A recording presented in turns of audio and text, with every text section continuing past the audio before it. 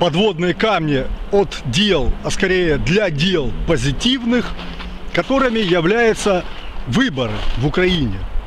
И в этих выборах нужно элиминировать, убрать нахерен шушваль воровскую, политическую, чтобы она свалила уже наконец-то, наворовавшись, набравшись Украины. И видео Ростислава Шапошникова в этом очень помогает для Украины очистить эту паскудную, постоянно халуйскую, кремлевскую, воровскую власть которая убивает украинцев, и они не ведают об этом. А надевает вышиванки и обворовывает, и убивает украинцев, и они снова об этом не ведают. То есть для такого вот совкового, посовкового сообщества вот такие полезные вещи, фильтрация паскудной власти, очищение власти Украины, могут оказаться наоборот Потому что лохи постоянно ведутся на лохоразвод. У них так генотип установлен. И нужно его, эти стереотипные генотипы, разрушать каким-то образом, чтобы наконец-то показать лоху, что он не только не прав, и он самоубийца для Украины составляет этот электорат, что он гнида, подлина, паскудная нечисть, мразь. Чтобы ему стало стыдно, этому лоху пересечному. То есть и Галитей, и Константиновский, и всякая вот эта лобода и шушваль, которая процессалась к телу Украины, обворовала его, оставила тут война, сгарища, демократия и тому подобное, свалила за кордон себе, там припеваючи живет и по сей день. Она должна каким-то образом ответить хотя бы за Иловайск.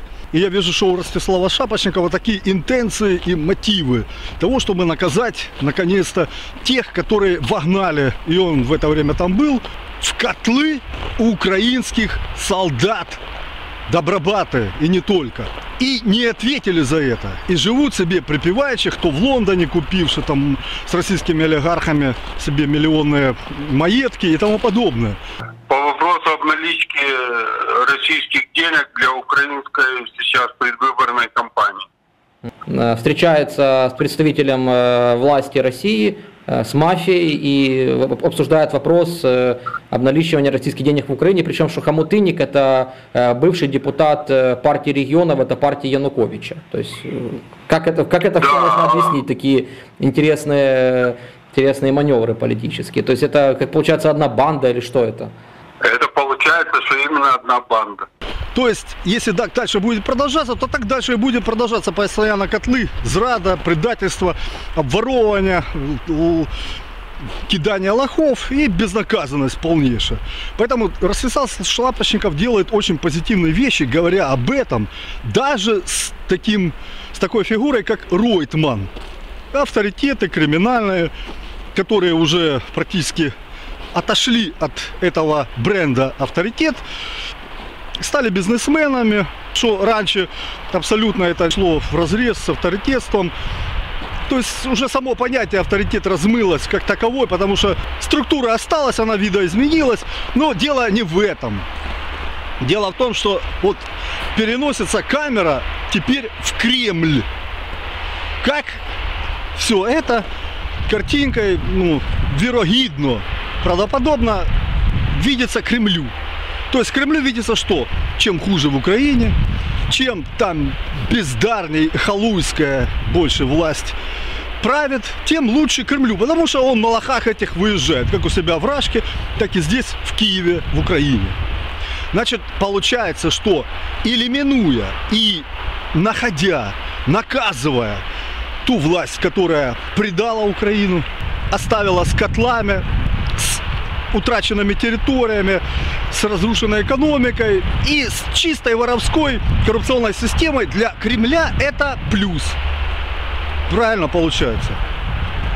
И выходит из этого контекста, что Ройтман таким образом, элиминуя, находя воров, с помощью Ростислава Шапошникова, очищает Украину. То есть Украина должна после этого быть чище, без воров. Ну и как мы знаем, что чистая страна организована, военно, милитарно мощная и тому подобное. Это конкуренция Кремлю. Получается, очищая Украину от коррупции и тому подобное, мы этим самым, украинцы, делаем конкуренцию Кремлю и его воровской, тоже вот такой паскудной, олигархической и этой тоталитарной и тому подобное власти. Получается, вот так получается, что Кремлю это невыгодно. И получается, что если до там, 16-15 года Кремль лил все багно, все, что не льется с уст этих Собакиных, этих Скобеевых, пропагандонов путиновских, все что угодно на Украину, на власть. Теперь, получается, Кремль как бы подзамалчивает и даже пиарит эту рошеновскую быдлозраду. Вот приезжает этот Бондаренко там с Одессы, и его Скобеева начинает Скобаева Собакина это ругать, проклинать там своим микрофоном, Россия, ТВ и тому подобное.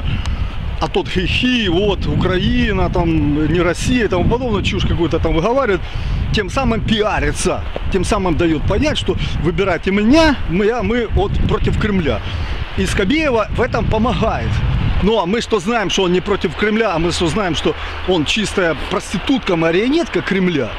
И за наличку, за бабло он продаст как бы и неньку, и мать родную, и, и украинцев, и любые котлы тебе сделает по заказу.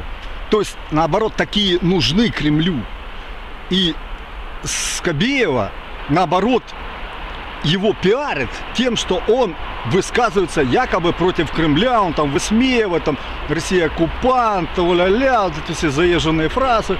Да, Россия оккупант, но он и вот эта рыговская подлина причинилась напрямую к этому напрямую в этом винна, виновата. А теперь она кричит, это Рыговская подлина, что Кремль виноват, там Россия, Путин. И на этом выезжая, делая себе пиар, они снова попадают в этот коррупционный рай, который называется банковая президентура, парламент и тому подобное. Котловария чистая для украинских солдат. И котловария также для обывателей Украины. То есть это, наоборот, выгодно Кремлю. А что выгодно Кремлю? Чтобы они попали к власти. А как они попадут к власти? Тем, что будут ругать Кремль. Вот Скобаев, Скобеева и делает им этот шанс. Ругать Кремль. Чтобы они попали к власти на, и дальше грабили, разворовывали, обнищивали Украину.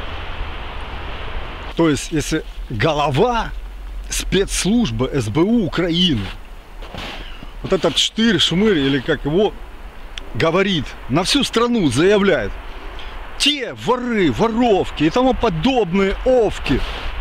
Но мои коллеги с ФСБ России, путиновского ФСБ. Мої колеги з ФСБ. Мої колеги з ФСБ. Тут в Украине все воры, воровки, а у него приятели, коллеги с ФСБ России. Вы представляете, какие идиоты правили и до сих пор правят семочки, шмомочки Украиной. Вы представляете, как это выгодно Кремлю? Я не представляю. А вы представляете? Да, мало представляете, потому что биомасса до сих пор сидит и никуда не выходит. Потому что она малопредставительный орган в своем государстве. Просто био-быдло стада баранов.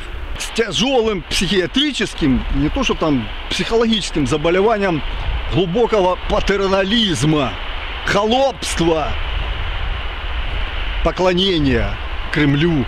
Ну, потому что это самый сильный, да, был тогда орган. То есть, если свечения, слова, эвиденции, какие-то доказательные, говорительные доводы с уст Ройтмана сделают какую-то, создадут опинию, да, что они эти плохие, то неужели, получается, Ройтман круче ФБР и других спецслужб CIA там США? Нет, конечно. Мы что понимаем, что и Кремль щеманули загнали, сейчас загнали, это неизвестно, завтра он может вырваться с этого тупика. В этот тупик крымско-донбасский. Через санкции и тому подобное. Да, приходилось щемить и прижимать яйка многим чмошным подлинным европейским политикам, соскам Кремля. Да, ну и когда-то ж пора браться ж за Украину, чтобы она все-таки очищалась, а не просто выезжать на коррупцию Украины, заманивать сюда Кремль, Путятину, которая набрыдла уже всему миру, и мочить его тут, и мочить вместе с этим и украинцев, и честь, и гордость Украины. Когда это закончится?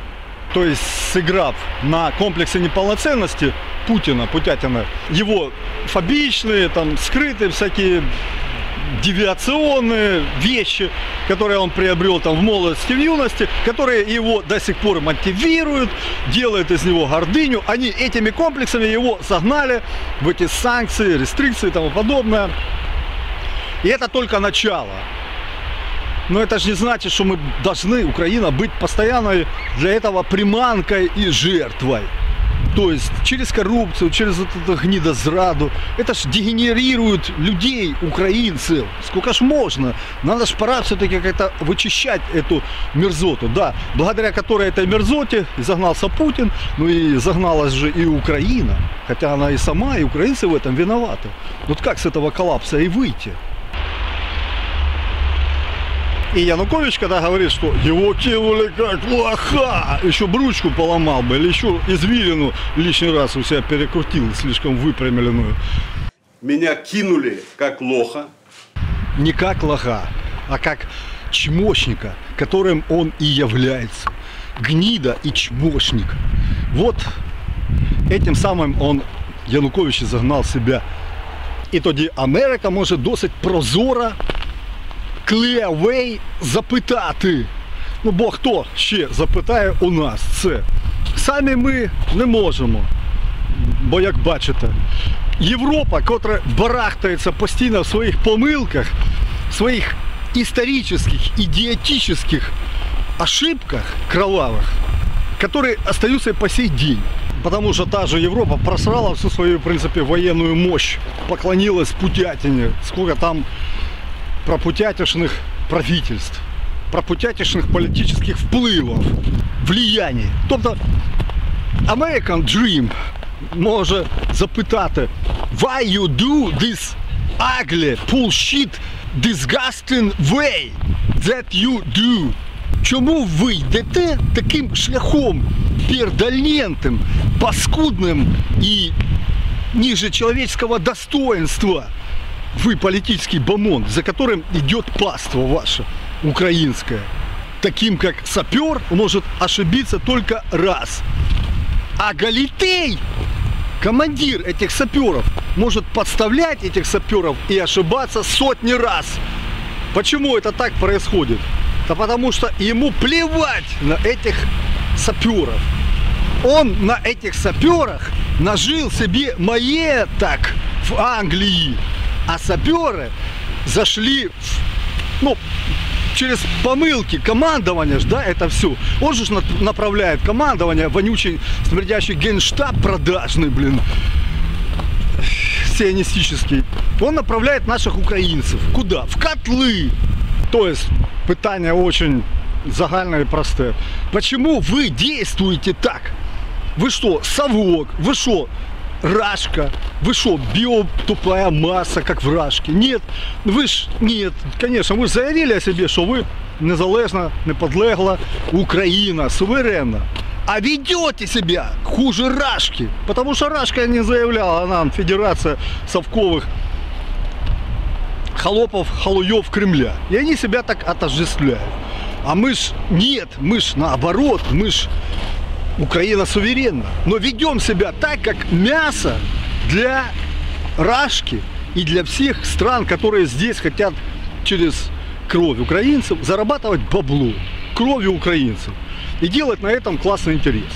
То есть мы сами себя поставили в такое ракообразное смердячее положение. И Бамонт, и электорат. такой самый, также стоящий. Поэтому Америка единственный орган, как бы политический, геополитический, который может что-то спрашивать. Потому что это пример того, как они себе создали демократическое государство. Спросите сказать такое, что если вам нравится быть такими ракообразными стоящими, то это ваша, ваш выбор. Делайте так. Но вы не забывайте, что эти места на земле, на мапе, они не должны принадлежать атеистическому сброду, который является сейчас Кремль. Тогда здесь будет что угодно. Если вы не хотите быть достойными людьми, достойной суверенной нации, значит здесь будет что-то другое. Если вы этого недостойны, вы, если вы плюете на свой суверен, но геополитическое соотношение таково на этих теренах, территориях, например, Украина, что ну, уже даже и Штаты не могут позволить, чтобы здесь был кавардак, военный бардак, постоянное осиное гнездо говна террористического, как в Сомали или других странах 10 или 3 мира, культуры примитивной. Вот они этого не могут позволить. И, в принципе, и мы, как культурное сообщество украинское, древних князей, тоже не хотим этого. Но позволяем через свою ракостоятельность, ракообразность. Потому что, ну, это кто виноват, что четыре танка не могло выехать из бокса в 2014 году, чтобы оборонить неньку свою, потому что тот самый Лисичанск занимали десяток обалдуев сепаров, криминалистов. Потом уже, когда пришли до Барвата, они их быренько выбили, те драпанули. Еще стариконов обстреливали людей, покуда на, в них не долбанули с гранатомета. И Кремлю, и Рашке, естественно, выгодно такое вот чмошное, воровское, коррупционное поведение Украины и этих игроков, которые на этой территории потому что все отвлекалово будет идти на эту территорию, а это потоки, это ветви, сообщающие Китай, Европу и тому подобное, куча, куча, куча массы всего этого, что Рашке выгодно. Ну, Рашка это что? Кремль, это что? Пуп земли, это что? Матка в муравейнике, преклонение. Это уже больше половины или меньше там, ну какая-то часть половинчатая россиян уже сама плюет в эту кремлевскую заразу. Они уже открыли беньки свои, очи. И наконец-то пересмотрели свои отношения в этом мире. Нафига они там живут, воздух коптят. Как плесень, как планария. Они как люди, данные Богом, по своему подобию, воля и тому подобное. Европа, европейская культура, НАТО, это классно, но это тоже затьмаренность вы посмотрите, э, убили мэра Гданьска Павла Адамовича. Да, он был левацким сметтям, так бы так сказать, продавал Гданьск, в отчину немцев хотел его сплавить, так как и Кушнарев в свое время хотел сплавить Харьков в Россию, электроснабжение, их вежи, вежи, мережи электричные российские. Так само уже Гданьск питается и платит за электричество в Германии. То есть он уже чуть ли не хотел опять сделать вольным местом Гданьск. А потом что-то у него стрыкнуло или карты так упали, шахматы, сори, не перевариваю карты, что он отошел от этой предательской партии Туска, ПО, платформа обывательская, путиновская, тусковская, и перестал с ними якшаться, и через полгода его убили, вот недавно буквально. И посмотрите на, на рыло его родственников, родственничков, чмошек, которые там, эти рыла, сидят на похоронах Павла Адамовича и ржут, усмехаются. То есть для них как такового отца или кто там он им родственник не существует. Для них существует только бизнес и бабло. Представляете, это то же самое. То есть убийца бегает по сцене, радуется, что он убил, только что завалил два ножевых, очень точные, профессионально, очень ранения смертельные оказались. И потом на похоронах его семейка также ржет, как и этот убийца, который скочит по сцене. Вот что нужно знать о высокой культуре этой. Савка уния европейская. Тобто, другими словами, Штаты Почему Штаты снова? Потому что Европа это, в принципе, сугубо эгоистические органы государственные, которые своим примитивным мозжечком, который опримитивился через газ путиновский, ну, не способны принимать аж такое участие в геополитике, как это делает США. И поэтому США очень заинтересована, чтобы в Украине и Украина была настолько милитарно мощным панством, государством, чтобы смогла она сама боронити свою неньку державу от зазіхань кого угодно. От Орбана, от Путина, Шмутина, Шойгу, от кого угодно. Это в интересах Штатов. Чтобы еще плюс Украина была, и сама она хочет Украина. Ну, хочет так, ага, хочет. А пускай кто-то это нам сделает. Ну, это мозги патерналистические, хотение тоже патерналистическое. Штатам не интересно, чтобы их постоянно на них лаялы, и критиковали за то, что а вот Украина, это Россия, там, это русские там живут, они хотят быть вместе со своей вотчиной. Какой вотчиной? Там болота были московитянские, макшанские, когда тут уже была русскиевская вотчина. Вот с чем хотит, хочет быть Украина а не с постоянным предательским московитянским болотом, который продает своих россиян, не считает их за людей, считает их за холопов, за быдло, тупорейшее быдло, плюет на них с утра до вечера. Они жалуются кому? Кому россияне могут пожаловаться, кроме Камикадзе, кроме Дмитрия Иванова, Сотника, Васильевой и Мальцеву, других проведных российских политиков в выгнанию так бы проклятые Кремлем политики. Вот они только и могут им писать, жаловаться. А они в Ютубе замолвят пару словечек. И все. Так что это такую Украину хотит, хочет Штаты видеть. Или сами украинцы хотят такую видеть, быдляцкую. Нет, конечно. Но и усилий сами приложить не могут, потому что коррупционная корыта дерьмо полнейшее. А сами выходить не могут. Ну, они такие интеллигентники, блин, зачмуренные. Ну вот и сидят в этом говне зачмуренности. І самі боронити не можуть неньку. Нема оружия, да? Не было оружия. И в 18 году не было оружия. Кто в этом виноват, да? Кто ж виноват? Разборная Австро-Венгерская империя, что она нам не сделала таких же уланов, как сделала эта Франция для Польши. И мы не смогли відстояти. Здесь пришла банда Муравьева, порезала всех, ограбила, повзрывала, уничтожила. И сделала совок, быдло ваты. То есть, чтобы срезюмировать, Кремль, естественно, понимает и просчитывает не то, что там ходы на сколько-то там вперед.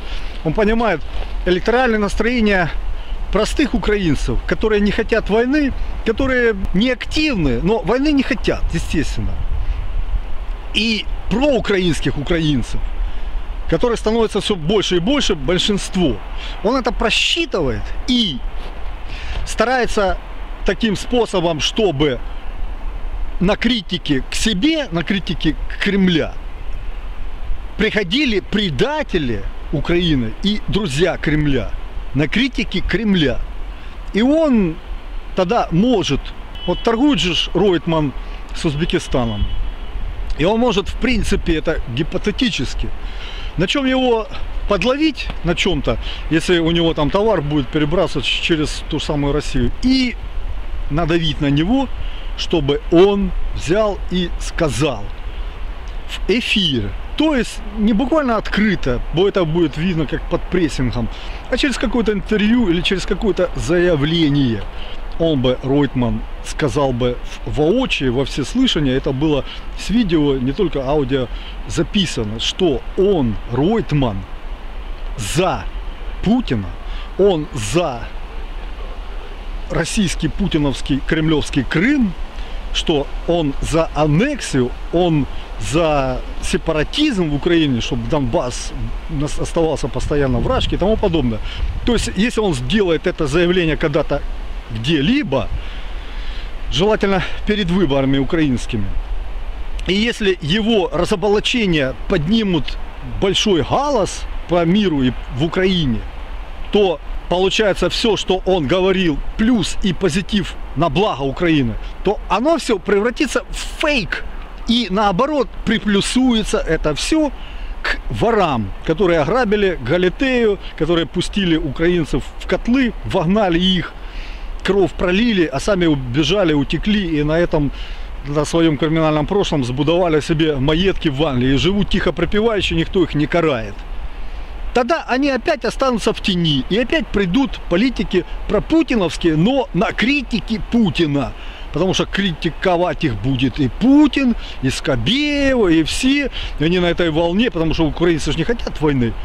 Но они не понимают, что они не хотят войны, не просто давайте за мир помолимся, а тут должна быть реальная победа Украины.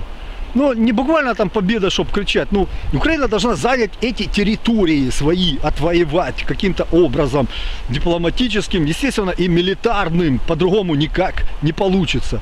А эти сошки и подбутники, подкаблучники Кремля, если придут, то это будет опять на 4 года то же самое, что было при Рошении, Порошении. Предательство, зрада, котлы, кровь, смерти украинцев на передке.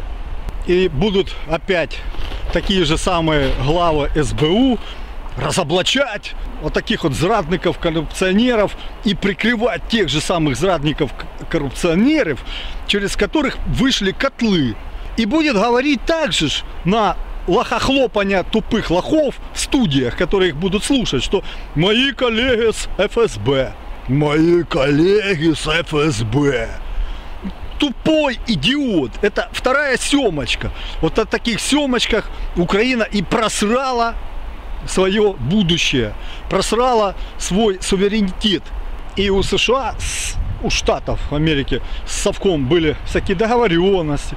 Они могли тоже плести, говорить что угодно, но США, Штаты не просрали себя.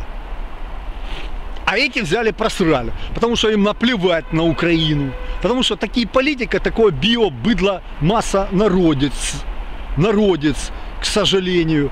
И они его не воспитывают, а наоборот загоняют еще в больше лохобыдлизм. Потому что им выгодно быдло, лоховство, стоящее на колене и ничего не просящее, тупые блым-блым глазами овцы. Им же эти выгодно для лохотронщиков. То есть Скобеева, Собакина это, она из рыговских марионеток Кремля делает из них для общественного мнения в Украине чуть ли не мучениками системы Путина. То есть они борцы против системы Путина, а Скобеева на них гонит, поднимается такой эмоциональный фон, ха-ха-ха, посмотрите, как они против Кремля, против Путина. Вот такое сказали, ее отшвырнули, все изумляются, да, они исправились, типа Янукович исправился, да. Это все делается для того, чтобы эту бывшую Рега Мерзоту привести опять к власти, чтобы она своим подлинным сыкливым образом подчинялась Кремлю и предавала все интересы суверена Украины. Продавала опять милитарную составляющую ради маетков и тому подобное.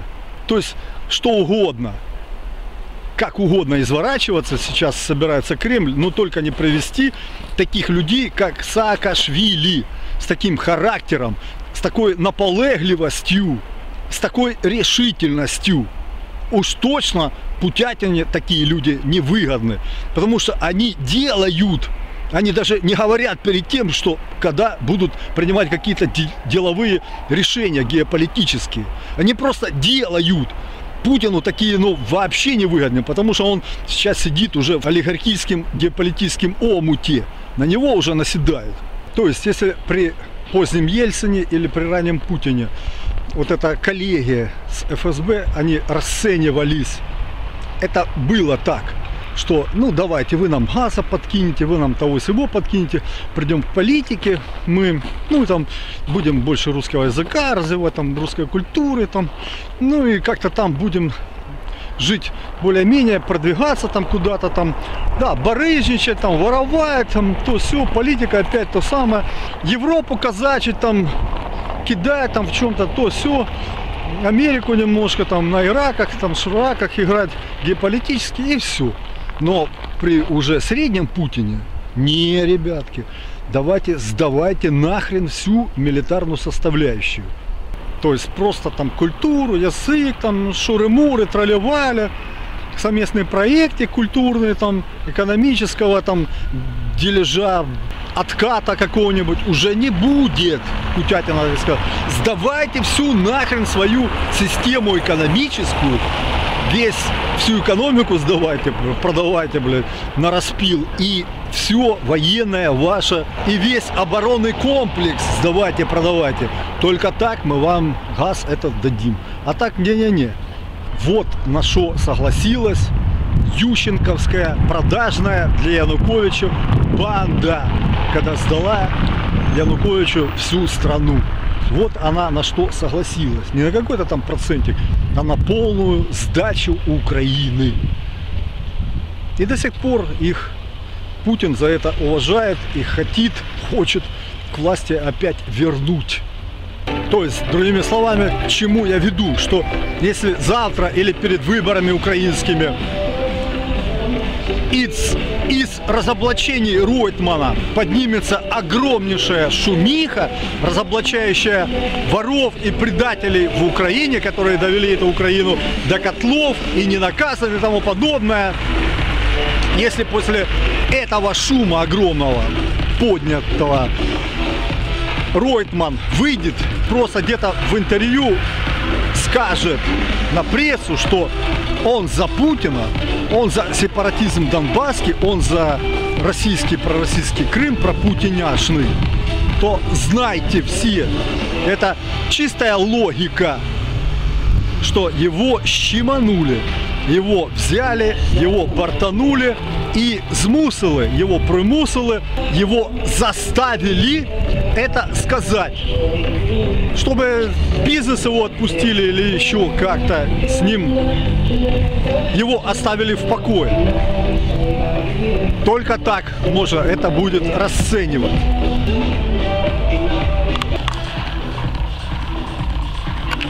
Потому что Путину, Путятине абсолютно невыгодно, чтобы поменялась рошеновская предательская власть в Украине. И поэтому Путину очень выгодно, и он будет заглушать, заглушать и профанировать все скандалы, которые обрушиваются на эту зрадницкую предательскую власть в Украине. То ли Рошеновскую, то ли какую-либо угодную, которую сейчас нужно менять. То есть, к чему я если Ройтман изменит свои показания перед выборами и начнет петь дифирамбы ФСБ и Путину против Украины, наоборот, выгораживая этих олигархов, воров, которые довели до коллапса Украины, до невозможности бороться и отстоять свой суверен украинцам, милитарное и тому подобное, то знайте все, что это уже не тот Ройтман, это уже будет тот Ройтман, которого щеманул Путин. И тогда лучше всего верить и брать к сведению те его первоначальные с интервью с Шапошниковым сведения о ворах олигархов Украины, чтобы они снова такие же самые не пришли к власти и снова не сделали дерьмо кровавое в Украине, а не те, которые он будет после того, как его щеманут, говорить что-то плохое на Украину и менять свои свідчення, менять свои показания. Явно это уже будет, что его щеманули. Потому что изначально это у него было как от души. Как помочь людям, которые борются за свободу, за честь, достоинство. И против тех, которые гнида ФСБшная, путятишная, гнидная, воровская система Путина, которая сганьбила профанировала саму Россию. То есть Ройтман, помогая Украине достичь процветания блага и милитарной силы, он помогает той самой и России, потому что этим самым будет уничтожаться и прыды в занепад режим Путина, убийцы всего славянского, всего христианского. Собрались умки поменять молитву, для этого сходняк устроили в лесу.